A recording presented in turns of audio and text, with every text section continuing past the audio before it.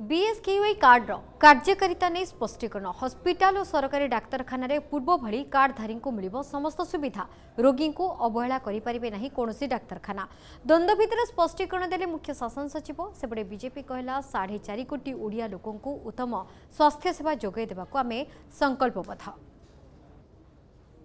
ଭାରତୀୟ ଜନତା ପାର୍ଟି ସରକାର ଓଡ଼ିଶା ଭିତରେ ଲୋକଙ୍କୁ ପ୍ରତ୍ୟେକ ନିଜ ଅଞ୍ଚଳରେ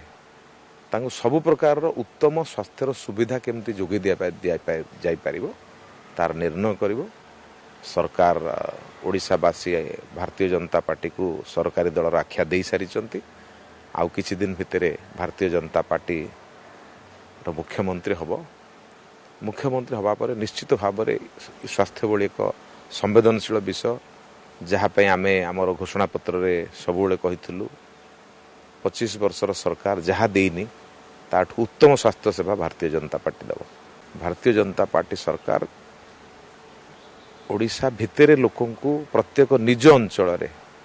ତାଙ୍କୁ ସବୁ ପ୍ରକାରର ଉତ୍ତମ ସ୍ୱାସ୍ଥ୍ୟର ସୁବିଧା କେମିତି ଯୋଗାଇ ଦିଆ ଯାଇପାରିବ ତାର ନିର୍ଣ୍ଣୟ କରିବ। ଯଦି ଆପଣଙ୍କୁ ଆମ ଭିଡ଼ିଓଟି ଭଲ ଲାଗିଲା ତେବେ ଆମ ଚ୍ୟାନେଲକୁ ଲାଇକ୍ ସେୟାର ଓ ସବସ୍କ୍ରାଇବ୍ କରିବାକୁ ଜମା ବି ଭୁଲନ୍ତୁ ନାହିଁ।